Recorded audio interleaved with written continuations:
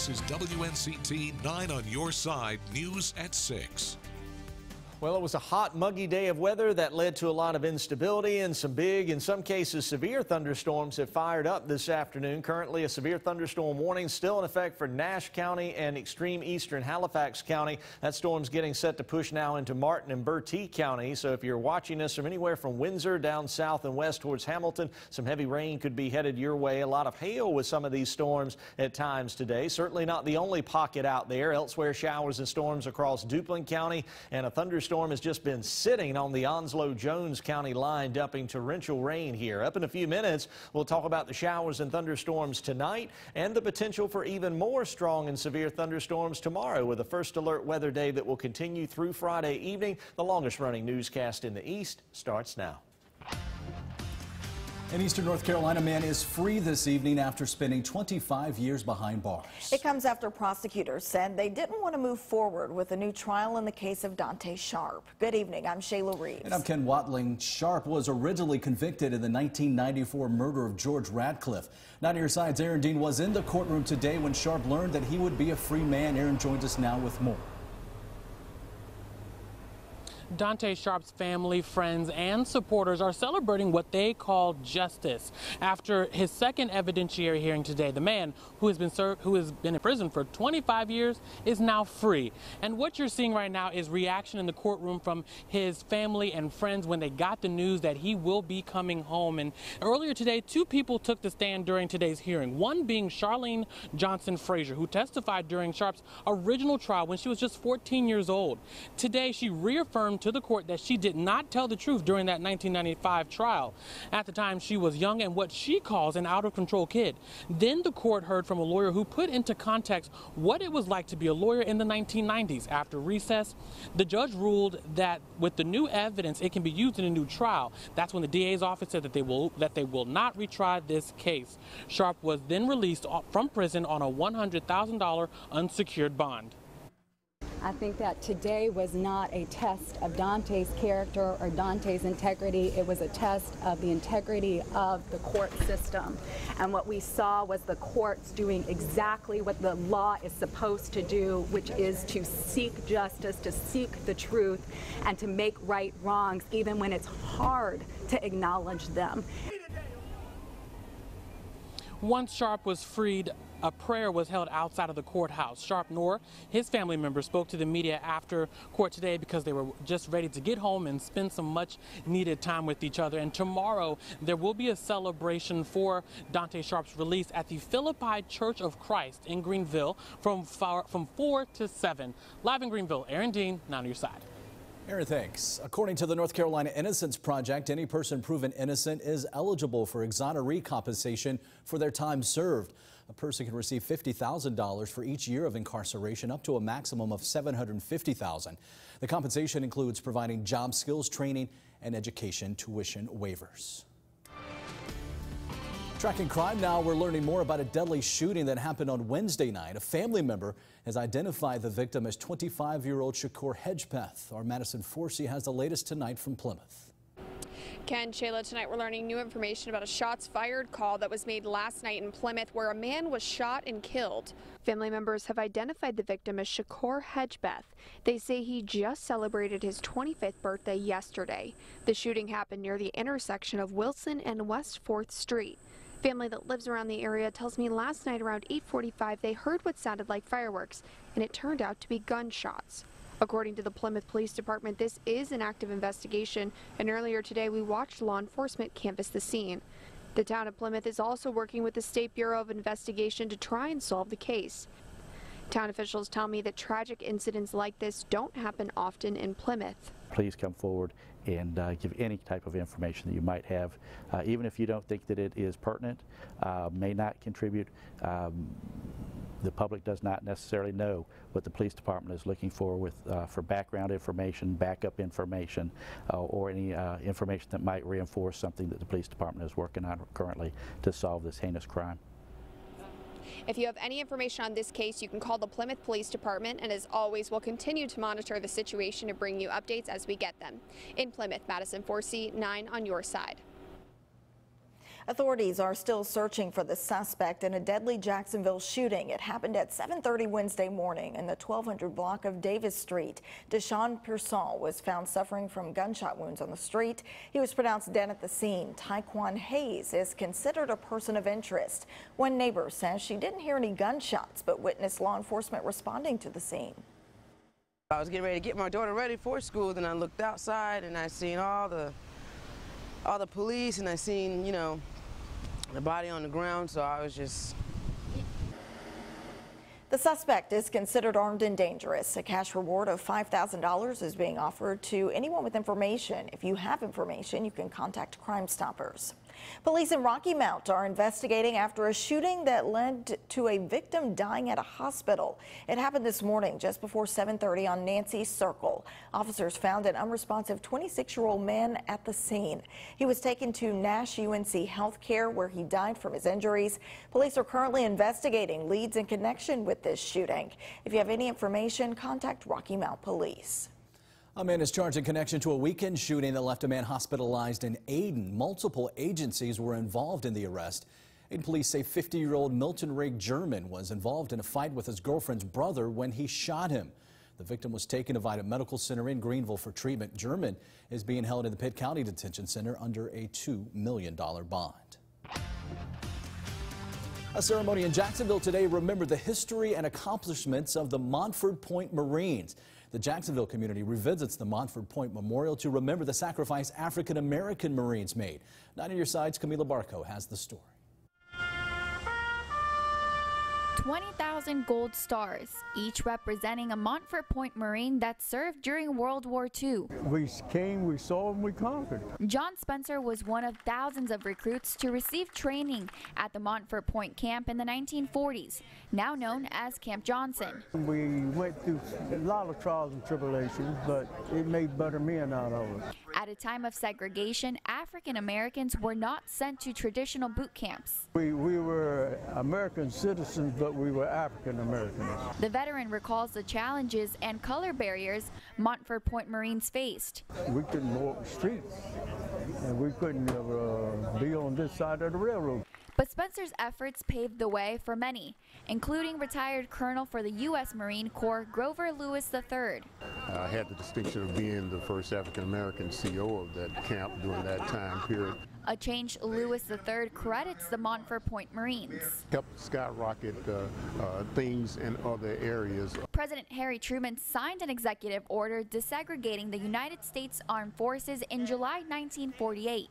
A year later, Montford Marine Camp was deactivated. That history is, is something that can't be lost. An end to segregation on base and an opportunity for African Americans to move forward.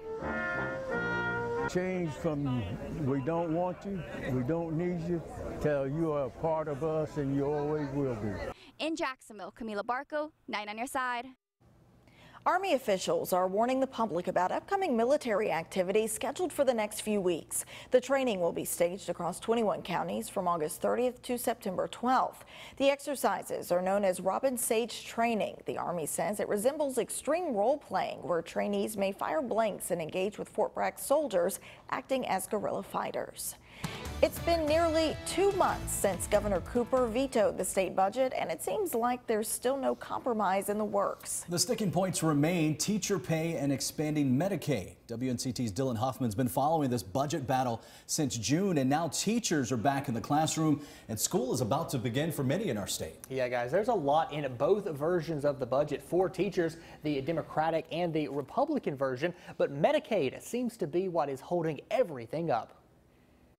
We're in a budget impasse right now. The governor has, to me, great plans, uh, a better budget. When it comes to moving forward, lawmakers are still at odds. When the teachers start coming into school and receiving their um, pay stubs and checks, they're going to realize that the raises that they've earned are not there. Teacher pay right now stays the same.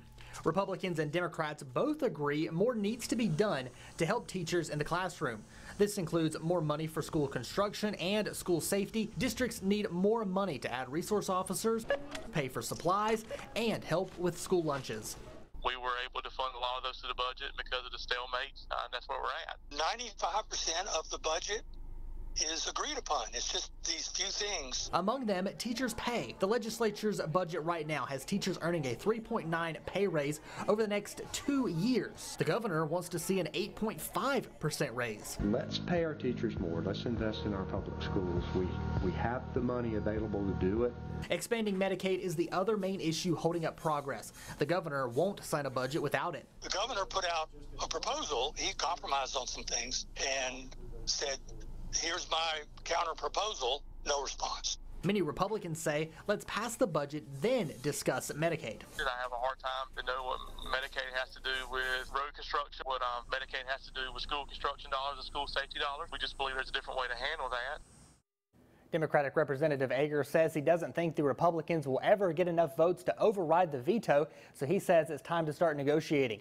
Republican Representative Bell says they are starting next week. Republicans will start to sit down and talk about passing certain sections of the budget. He says they're able to do that to hopefully get some progress made without passing the full budget. We'll keep you updated on any progress. Live in the studio, Dylan Huffman, 9 on your side. Started out the day with a lot of sunshine and heat that has led to high instability and the thunderstorms are blossoming. We'll show you which counties are currently under warnings. We'll also look ahead to the upcoming weekend and check in on the tropics.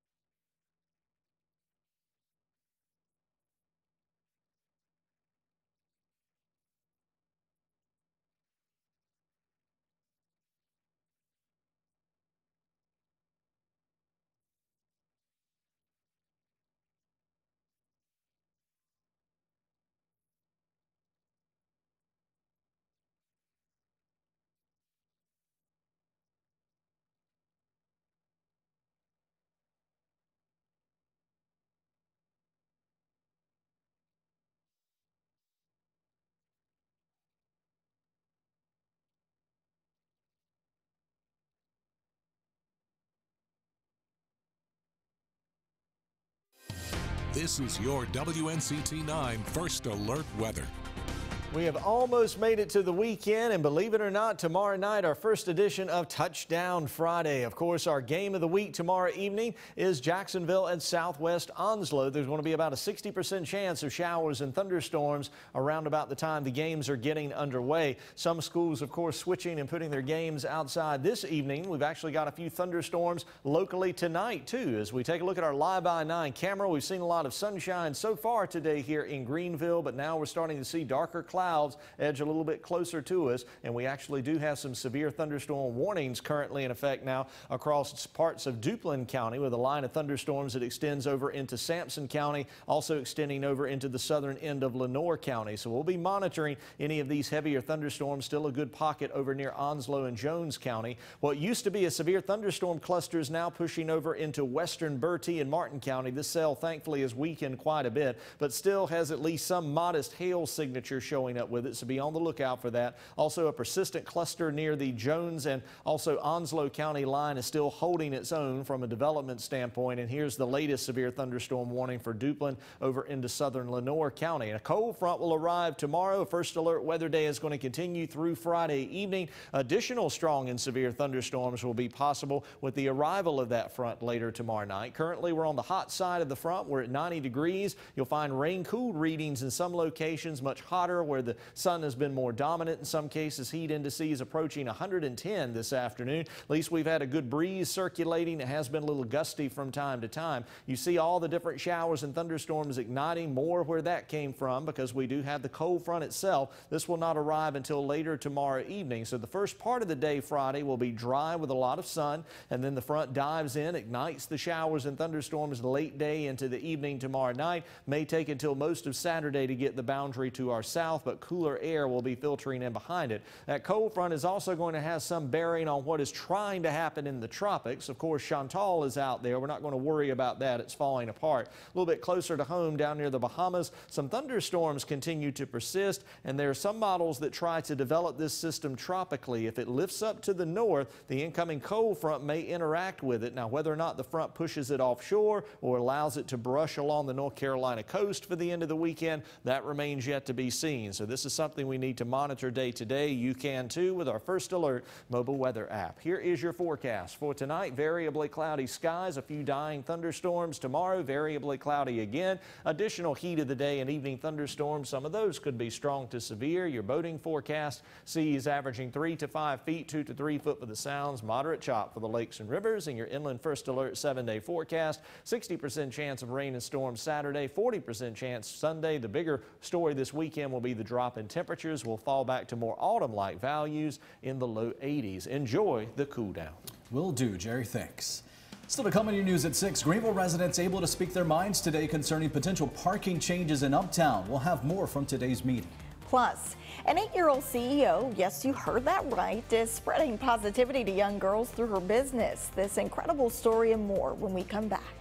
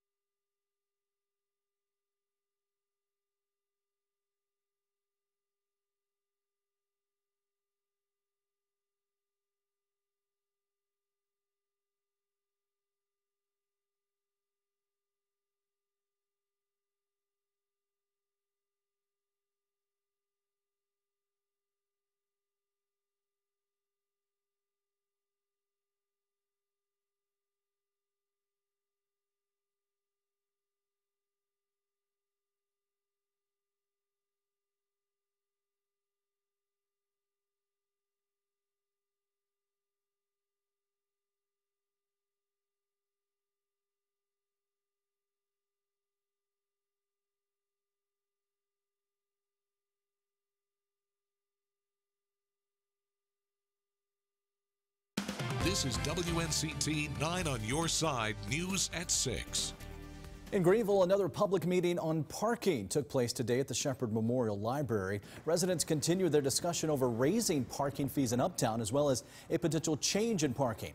If approved, these fees could be raised to rates of $1.75 an hour with the first hour free. Many residents, though, have differing opinions. Parking is one of those things where maintaining our parking infrastructure is an expensive part of what the city does. And uh, the proposed fees, uh, at least as I see it, are, are reasonable in light of what other cities are doing and, and what we're currently paying. It depends on the area, but we do not need to make it a barrier and tough for people to come into the area. It needs to be uniform across the uptown area. For more information on these potential changes, visit our website and check out the online original section. Also in the city of Greenville, the city says part of the closed portion of Evan Street and Reade Circle is expected to reopen the first week of September. That intersection shut down on July 29th to relocate a water line. It's part of a larger closure which will continue into September. For more information, including detours set up in the area, head over to WNCT.com. One little girl here in the East isn't just your average eight-year-old. Rylan Kelly is the CEO of her very own business. It's called Jade's Journey, and she's doing something special to bring children from the community together. At the age of six, she started to create bows with scriptures on them after dealing with bullying at school. Two years later, her business is still improving. Now, Rylan is seeking out parents and students to gather outside the Pitt County Courthouse on Saturday for a special moment. It's just for all the students to have like a moment of encouragement to just uplift them because now they're going to be going to higher grades, getting difficult homework. Right now, Rylan says Jade's Journey is working on making things for girls who are struggling with health issues to make sure they have accessories available too.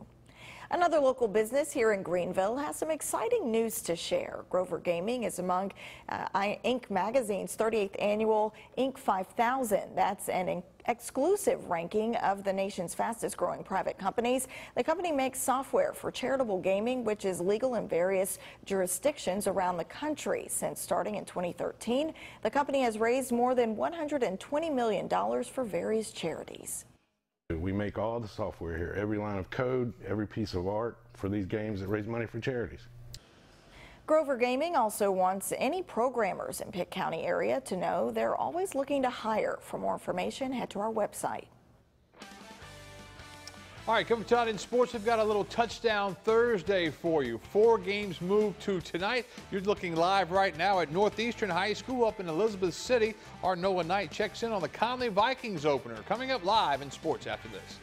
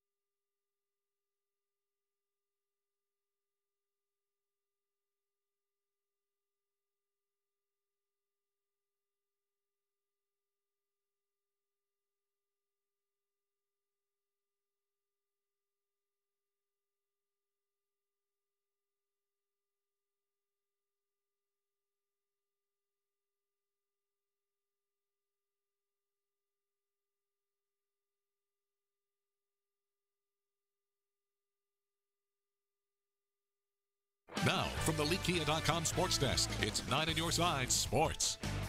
Last year, Northeastern beat Conley in a high-scoring affair. Tonight, the two hook up again to open up brand new season. We've got a little touchdown Thursday tonight with a handful of teams moving their games up a night. Conley made the long trip to Elizabeth City a night early to get that game. And remember last year, the game featured Travion Freshwater against C.J. Johnson. They're both now Pirates. Our Nolan Knight also made the trip north, and he joins us live for a preview. And Nolan, this is a tough road trip for Conley to open up the season.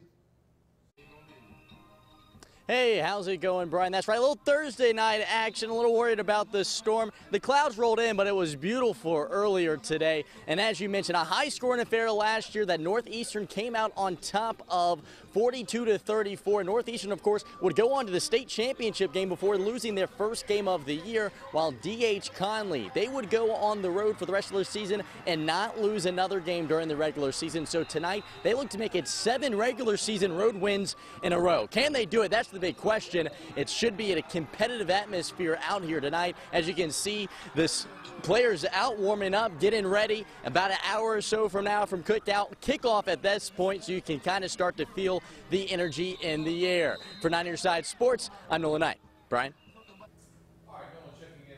Elizabeth City. Long trip for Nolan. Of course, he'll have our game of the week coming up tomorrow night. We'll talk about that in just a bit. A little touchdown Thursday coming up tonight. Four games on the schedule. As we told you, Conley making the trip north to Elizabeth City to take on Northeastern. Here are the other games coming up tonight. Rocky Mount and Tarboro. And our Ken Watling is going to make the trip there. That's our backyard brawl for Friday night's show. But we'll have highlights of that one for you coming up later on tonight at 11 o'clock. Also for a little touchdown Thursday, Bertie and Riverside. They'll play a night early coming up. 7 o'clock kickoff there in Washington County and Pasquotank. That's also a 7 o'clock kick. All the scores and highlights coming up later on tonight. And of course, tomorrow night's the big night, the season debut of Touchdown Friday. Now, we still have to wait a day for the season debut of our show. Our game of the week tomorrow night is a battle in Onslow County. Southwest plays host to Jacksonville to kick off the new football season. The Cardinals rolled in last year's game, 40 to 13 over the Stallions on opening night. So obviously, one coach wants a similar game, and the other quite the opposite. I kind of hope it's the same for us, but um, um, I think it's going to be, a, I mean, they're not as big as they have been up front from what I've heard, but uh, they're still going to be a big group, and they're going to run the ball at us. we got to be able to stop the run and try to get our, use our speed and get on the outside and make some plays. I hope we can hang with them a little longer than we did last year. You know, we, we uh, did a great job of getting up early and, you know, first, unfortunately, uh, you know, our, our, kids got a little tired and it was, you know, it was a hot, humid game. So, you know, we, we had a lot of kids going both ways. And East Carolina, the Pirates will head into the weekend getting in their final work before game week kicks in next week. Pirate coach Mike Houston watched last year's tape from East Carolina's 58 3 loss, and he said it made him sick. We've got to focus on getting better every day. We've got to focus on improving every single day. You know, I sat and I watched last year's game this morning, and it made me absolutely sick to my stomach.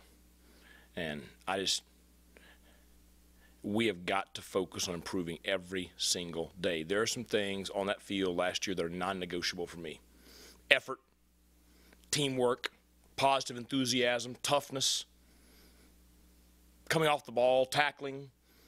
Those are non negotiable. We are going to do those things. And until we get to where we're doing those things consistently every single day, we're not where we need to be. Every single day, the entire practice has to be the same. There has to be consistency. I don't know about you, but I'm ready to suit up and play. Back with more news for you coming up after this.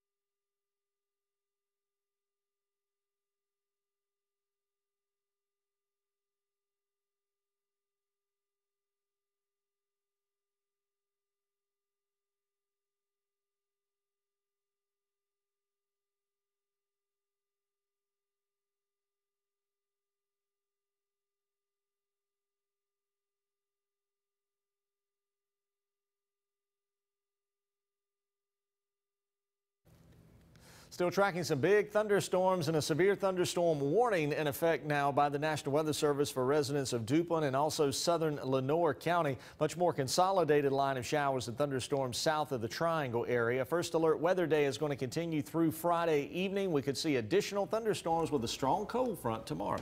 All right. Thank you so much for joining us. We'll have more news coming up tonight at 11. We'll see you then.